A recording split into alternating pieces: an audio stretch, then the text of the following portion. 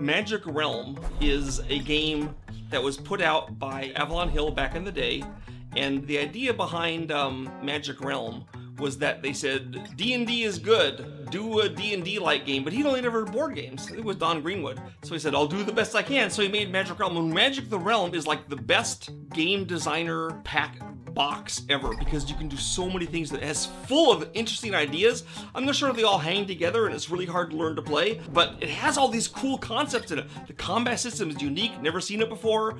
The uh, the way the tiles flip over to be enchanted is unique. I never saw that before. Anyway, Magic Realm, it's really incredible and of course it's out of print.